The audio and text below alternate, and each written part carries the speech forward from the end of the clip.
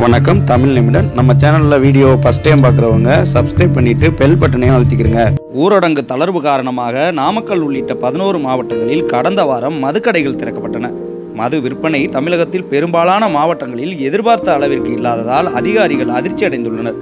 ஊரடங்கிற்கு முன் கிடங்குகளில் விற்காமல் இருந்த தொண்ணூறு நாட்களுக்கு மேலான மதுபானங்கள் மட்டுமே சில்லறை விற்பனைக்கு அனுப்பி வருகின்றனர்.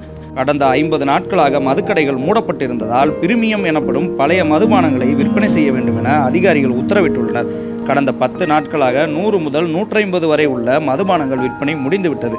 ஆனால் இருநூறு ரூபாய்க்கு மேல் உள்ள புதிய ரக மதுபானங்கள் விற்பனையாகாமல் உள்ளன.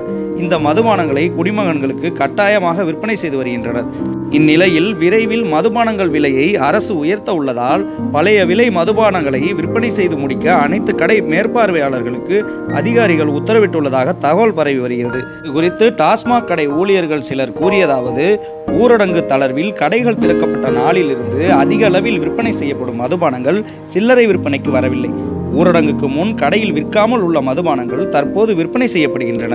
இதேபோல் விற்பனை செய்யப்படாமல் டாஸ்மாக் குடோனில் தொண்ணூறு நாட்களுக்கு மேலாக இருப்பு வைக்கப்பட்டிருந்த மதுபானங்கள் தான் தற்போது கடைகளுக்கு விற்பனைக்கு அனுப்பி வருகின்றனர். இதனால் விற்பனை மிகவும் குறைவாக உள்ளது. தாங்கள் விரும்பிய மதுபானங்கள் கிடைக்காததால் குடிமகன்கள் தகராறில் ஈடுபடுகின்றனர். இவ்வாறு டாஸ்மாக் ஊழியர்கள் கூறுகின்றனர். டாஸ்மாக் மாவட்ட மேலாளர் கூறியதாவது கொரோனா தொற்று பரவல் காரணமாக மது தயாரிப்பு நிறுவனங்களிலிருந்து வரத்து குறைந்துள்ளது. தற்போது வாரத்திற்கு குறிப்பிட்ட அளவு சரக்கு மட்டுமே அனுப்புகின்றனர். இதனால் அதிகமாக விற்பனை செய்யப்படும் மது வகைகள் தட்டுப்பாடு ஏற்பட்டுள்ளது. எனவே இருப்பில் உள்ள மதுபானங்களை விற்பனை செய்ய உத்தரவிடப்பட்டுள்ளது. இந்த தட்டுப்பாடு ஒரு வாரத்தில் குறைந்துவிடும். மதுபானங்களின் விலை எவ்வளவு உயர்த்தப்படுகிறது என்பது அறிவிப்பு வந்தால்தான் தெரியும் என்று டாஸ்மாக் மாவட்ட மேலாளர் கூறியுள்ளார்.